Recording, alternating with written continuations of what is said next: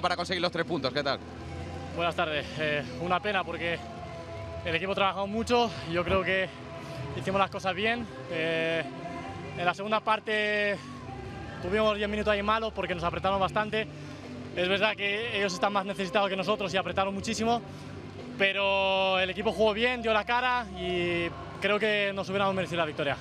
¿Qué ha faltado para conseguir esos tres puntos al final?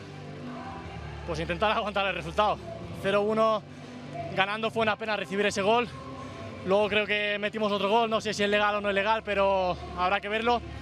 Pero bueno, como, como he dicho antes, el equipo ha dado la cara, hemos trabajado bien y nos, nos, llevamos un puntito que nos va a ayudar mucho. A nivel personal, por lo menos, te has quitado esa espinita, has marcado tu primer gol oficial con el Deport. Lo necesitaba, espero que a partir de ahora pueda jugar mejor, pueda soltarme más, porque cuando llevas tantos minutos y no llevas gol, la verdad que juegas un poco precipitado a veces, nervioso, porque quieres demostrar, quieres hacer las cosas bien. Pero sí que es verdad que estoy feliz por marcar mi primer gol y espero marcar mucho más a partir de ahora. Gracias, Florín. Muchas gracias.